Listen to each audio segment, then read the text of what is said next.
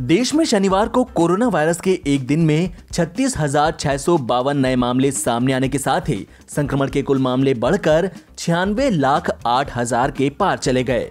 केंद्रीय स्वास्थ्य मंत्रालय ने बताया कि अब तक कुल नब्बे लाख अट्ठावन हज़ार आठ सौ बाईस लोग कोरोना वायरस संक्रमण से उबर चुके हैं, जिससे ठीक होने की राष्ट्रीय दर बढ़कर चौरानवे दशमलव दो आठ फ़ीसदी हो गई है। स्वास्थ्य मंत्रालय द्वारा शनिवार सुबह जारी आंकड़ों के मुताबिक कोरोना वायरस संक्रमण के कुल छियानवे लाख आठ हज़ार दो सौ ग्यारह मामले हैं।